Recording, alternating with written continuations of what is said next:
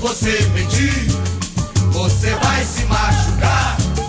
Novamente aqui estou, você vai ter que me aturar. Que malandro é você, que não sabe o que diz.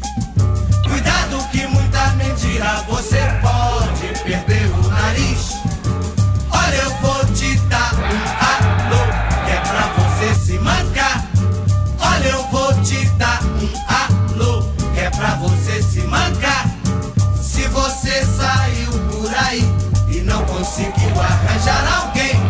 Deixe que alguém saia por aí e consiga arranjar.